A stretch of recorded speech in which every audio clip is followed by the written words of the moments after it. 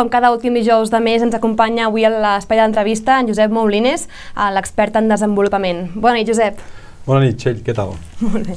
Quines són les diferències... Avui ens parlaràs d'equips, de, oi? Sí. Comencem sí, sí. parlant una mica de les diferències entre grups i equips.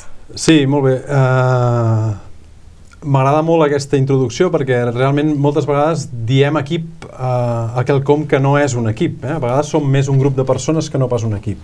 Llavors, què fa que hi hagi realment aquesta diferència entre passar a ser un grup de persones que treballem junts a un equip de persones?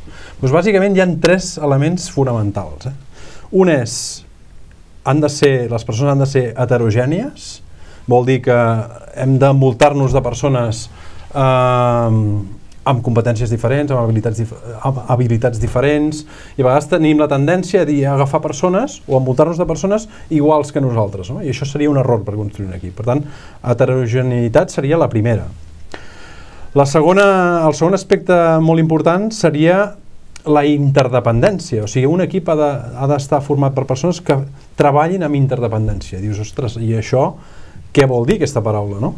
Això és un grau de maduresa, eh? de fet, eh, aquell autor, l'autor del llibre Los siete hábitos de la, de la gente altamente efectiva, Stephen Covey, definia eh, tres graus de, de maduresa de les persones. Les persones dependents, eh? són aquelles persones que una mica els hi has d'anar dient tot eh? i que no són capaces de fer, de fer un pas soles. Eh, la seg el segon grau seria el grau d'independència, és aquell grau on, on estem la majoria de persones, que és que sentim el que sabem fer, ens coneixem molt bé, i és allò, aquella actitud de dir, dona'm que ja ho faig jo, no? Això quasi bé tothom ho fa. Eh?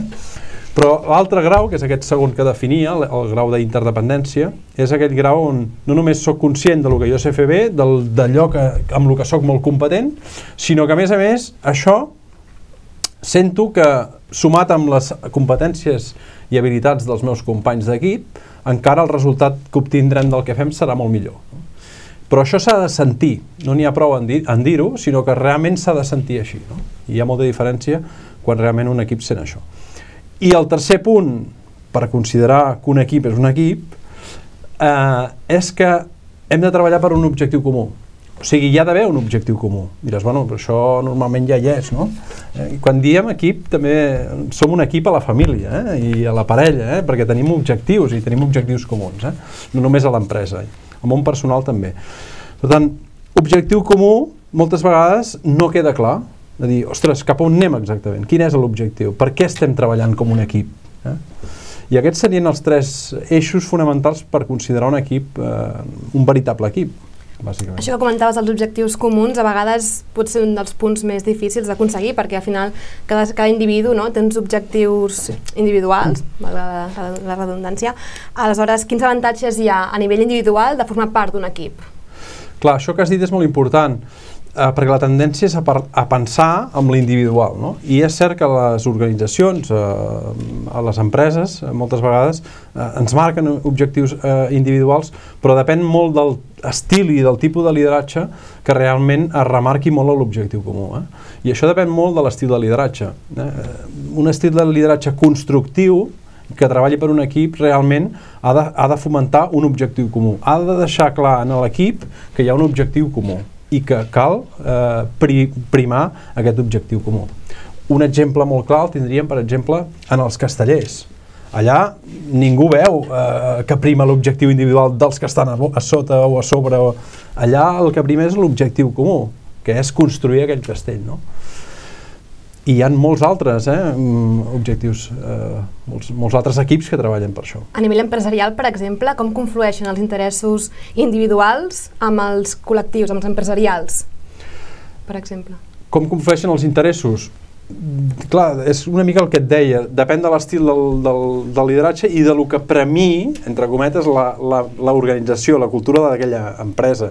Hi ha empreses que per polítiques de gestió de recursos humans o per polítiques salarials o premien, premien aspectes que fomenten un tipus de conducta o unes altres. Llavors amb això hem d'anar amb compte, perquè és clar, sense donar-nos compte, moltes vegades estem premiant l'objectiu individual per sobre el de l'equip. I quan això passa, tenim un problema.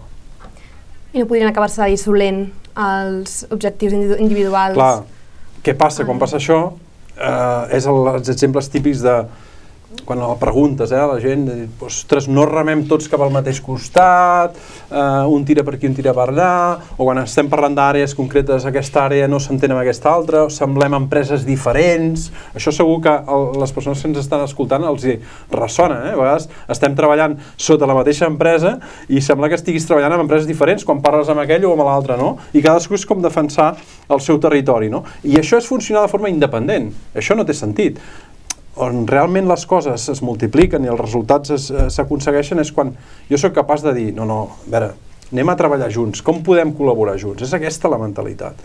Però això depèn molt de la cultura de l'empresa, del CAP, de, de moltes altres coses. Per tant, quan hi ha un xoc d'interessos, podem dir que no hi ha forma d'haver-hi equip? No.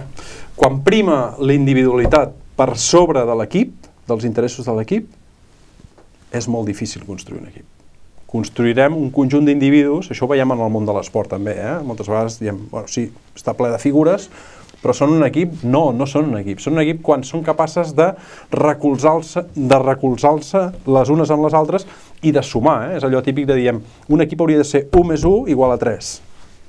Has posat, has posat exemple als castellers, uh, pots posar algun altre exemple uh, d'equip que hagi funcionat i d'equip que potser no, no hagi anat tan bé? Pues, per exemple, un equip és en el cas de la Fórmula 1, eh, quan hi ha un canvi de rodes, allò és un equip, allò és un equip, allò funciona amb, i ho fan en, en, en dos segons, eh? és un exemple molt clar. Un equip també és, els equips, un equip de futbol d'èlit, doncs també, eh, com el Barça actual, per exemple, doncs cada vegada dius, quan comencen a funcionar els mecanismes d'un equip, doncs realment quan els resultats són, són molt, molt millors. Dius, ostres, què ha canviat si els mateixos homes, les mateixes persones eh, són, són les mateixes de fa un any, no? Pues, pues això, eh, és el fet de primar l'interès col·lectiu, de fet això és clau d'èxit, no?, al final, en els equips. Molt bé, doncs ens quedem amb aquesta idea. Moltes gràcies. Gràcies a tu, ens veiem d'aquí a unes setmanes. Molt bé, moltes gràcies, bona nit.